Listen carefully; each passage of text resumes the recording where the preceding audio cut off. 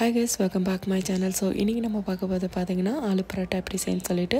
So அதுக்கான ingredient பார்த்திங்கன்னா நான் மூணு பொட்டேட்டோ எடுத்திருக்கேன். ஸோ அதை வந்துட்டு நல்லா பாயில் பண்ணியாச்சு. இப்போ வந்து அதில் இருக்கிற ஸ்கின்ஸ் எல்லாமே நம்ம ரிமூவ் பண்ணிடலாம்.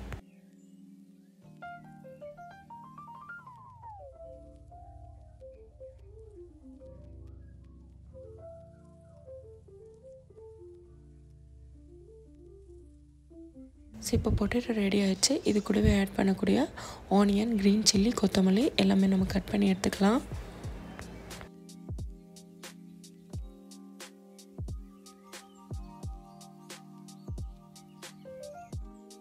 நல்லாவே பொடியாக கட் பண்ணிக்கோங்க.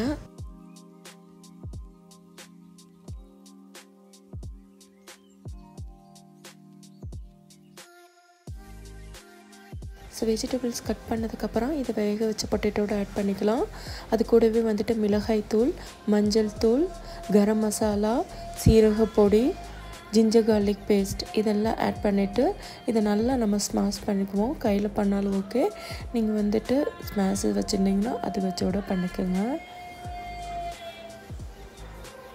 ஸோ அது கூடவே சால்ட் ஆட் பண்ணிக்கலாம்.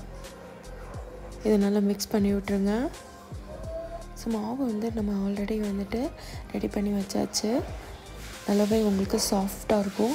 டுவெண்ட்டி மினிட்ஸ் கிட்டே நான் வந்து ஊற வச்சுருந்தேன் ஸோ இப்போ இதை நல்லா நம்ம வந்துட்டு நம்ம செய்கிற அளவுக்கு இதை நம்ம உருட்டிக்கலாம்.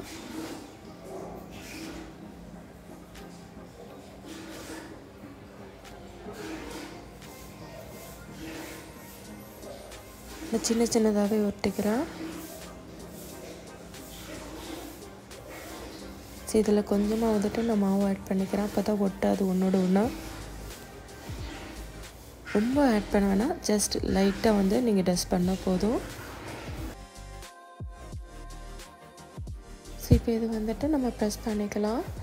லைட்டாக வந்துட்டு நீங்கள் ரோல் பண்ணிவிட்டு அதுக்கப்புறமா நீங்கள் அது கூட இந்த ஆலு மசாலாவை ஆட் பண்ணி நீங்கள் வந்துட்டு க்ளோஸ் பண்ணி அதுக்கப்புறமா நீங்கள் வந்துட்டு அகெயின் வந்து ப்ரெஸ் பண்ணிக்க வேண்டியதான் நான் கொஞ்சமாக தான் எடுத்து போடுறேன். ரொம்ப நிறையா போட்டாலும் வெளியே வந்துடும் ஸோ இந்த மாதிரி ஃபோல்ட் பண்ணிவிட்டு ரவுண்ட் ஷேப்பாகவே பண்ணிக்கிறேன். அகெயின் ரோல் பண்ணிக்கலாம். ஒட்டாமல் பார்த்துக்கோங்க. ரொம்ப தடிமமாகவும் வேணாம்.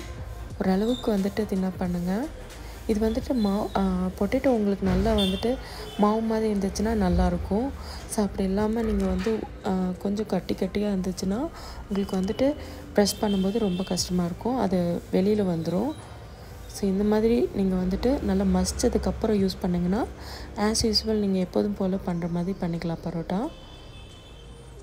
அதனால தான் வெங்காயம் இதெல்லாம் வந்துட்டு நீங்கள் நல்லா பொடியாக கட் பண்ணிடுங்க அதே மாதிரி எல்லா பரோட்டாவும் நம்ம ரெடி பண்ணிக்கலாம்.